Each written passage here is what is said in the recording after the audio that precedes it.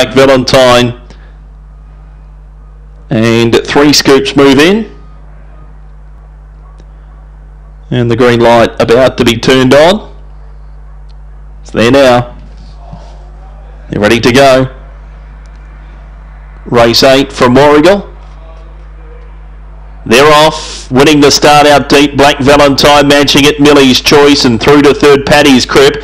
Middle Trucker was next in the field. Wider three scoops from Rotate Tom and last of all was Miss Josie. Rounding the turn, it's Black Valentine out by three lengths on Millie's Choice. Middle Trucker two lengths to Mugen. Next of all in the field was Paddy's Crip giving a good kick. Black Valentine opened up four. Running on his Middle Trucker with Temujin, but Black Valentine too good. Black Valentine won it from Middle Trucker. Bob of the head for third. Temujin and Choice.